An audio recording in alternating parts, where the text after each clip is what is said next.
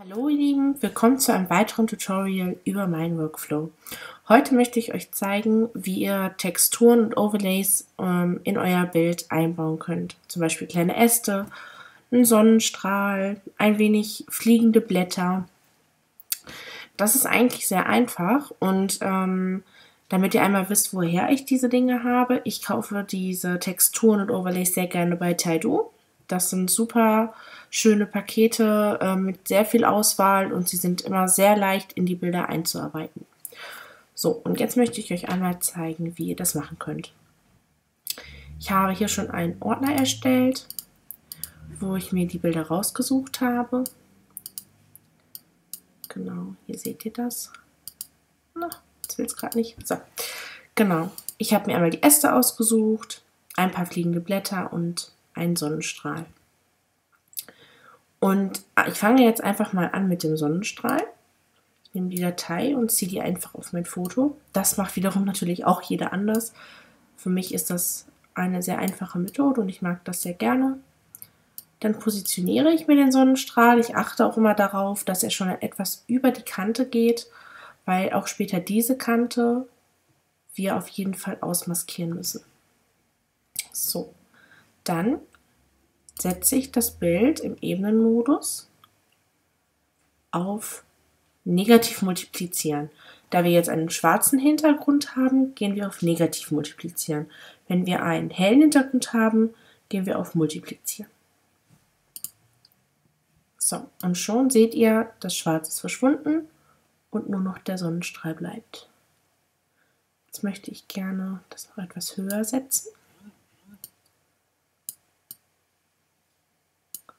So finde ich das schon sehr schön. Achtet natürlich auch darauf, gerade bei der Sonne, wo ihr Licht und Schatten gesetzt habt, dass das dann natürlich auch passt. Dann bestätige ich das Ganze. Und nun seht ihr schon, hier unten hat sich die Kante von der Bilddatei abgesetzt. Die möchten wir jetzt natürlich ausmaskieren, damit wir später keine Kanten im Foto haben. Dazu drücken wir das Maskensymbol, wählen die Vordergrundfarbe schwarz. Die Deckkraft muss nicht unbedingt bei 100% liegen, lieber ein bisschen weniger nehmen und dann vielleicht öfter drüber gehen, dann ist der Übergang nicht ganz so hart. Ich nehme jetzt mal 38% und ihr seht schon, mit ein paar Klicks verschwindet die Linie komplett. So. So, somit hätten wir schon mal das Licht eingefügt. Jetzt möchte ich natürlich noch ein paar Blätter einfügen. Dazu gehe ich erneut auf den Ordner, auf die Blümchen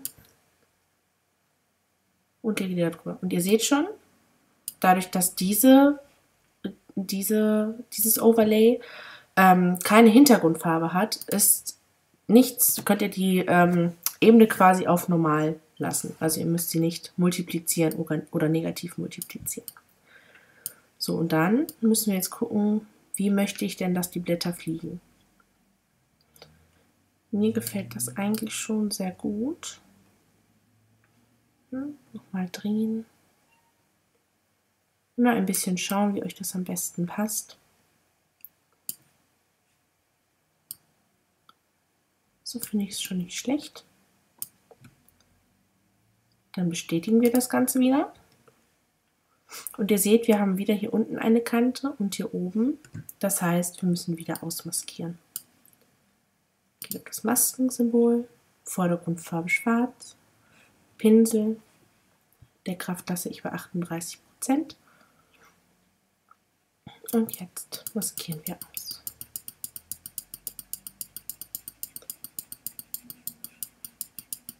Das ist auch sehr, sehr wichtig, dass ihr ausmaskiert, dass ihr später wirklich keine Kanten im Foto habt.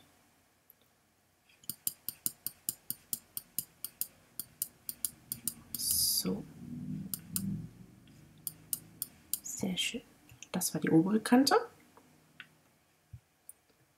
Jetzt möchten wir natürlich auch noch die untere Kante wegmaskieren. Auch hier, das Blatt auf der Haut gefällt mir nicht ganz so gut.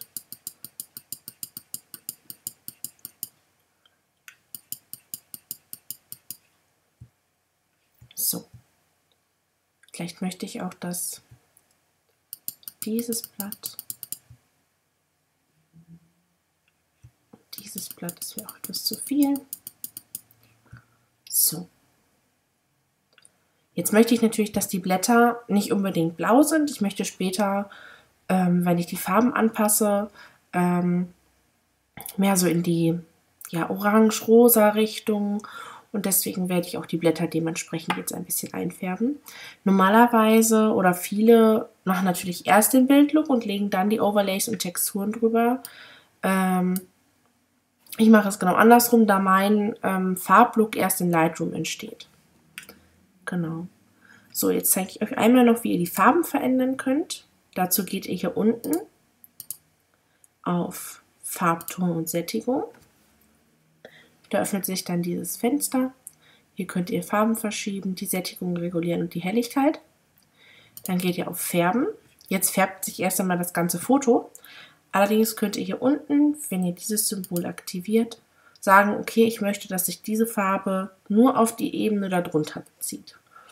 Und ihr seht schon, jetzt haben sich nur die Blätter eingefärbt. Und damit ihr das besser erkennen könnt, schraube ich die Sättigung jetzt mal etwas höher. Und ihr seht, ihr könnt euch nun wunderbar eine Farbe aussuchen. Grün ist auch sehr schön. Vielleicht passe ich die Blätterfarbe jetzt auch dem Hintergrund etwas an. So in dieser Tönung. Genau. Vielleicht noch etwas heller oder dunkler, das kann man auch noch mal regulieren. Und wenn das Ganze euch passt, dann macht ihr die, das Fenster einfach wieder zu und ihr seht, ihr habt wunderschöne kleine Blätter im Bild rumfliegen. So, ich hoffe, euch hat das Video gefallen und bis zum nächsten Mal.